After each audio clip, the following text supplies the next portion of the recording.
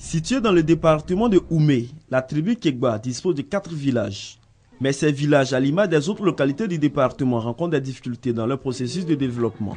Des difficultés liées à l'accessibilité des villages, le manque d'infrastructures de base dans les centres de santé, les écoles et l'eau potable.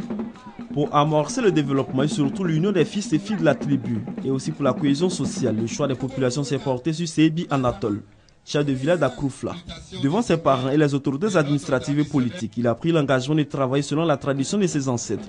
Membre du comité local de la CDVR, Sebi Anatole promet l'unité et la solidarité pour la réconciliation et la paix dans le département de Oumé. Parrain de la cérémonie, le ministre d'État, ministre du Plan du Développement, a encouragé la population à maintenir la flamme de la paix et de l'union.